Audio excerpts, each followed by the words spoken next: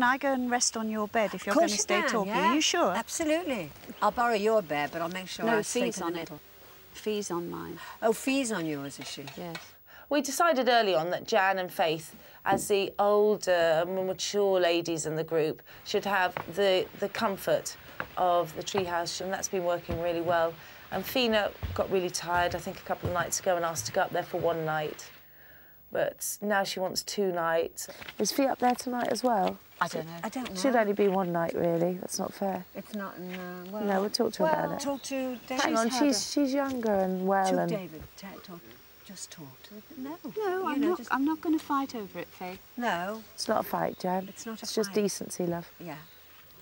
But I don't want to say anything. No, it can't be down to you. Don't worry about it. But I think what- David should say something. I think David will Don't probably you think? I am looking forward to getting back up there.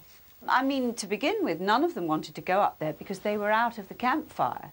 Um, I like it up there because the bed is flat and I need a flat bed for my back. She's, I think, taken over. She's taken over, actually. So I Does Jan think that was, yeah, upstairs? yeah, she definitely does. Phina? All right, I'm going. I'll go over here first in case. Do you know what I mean? Phina?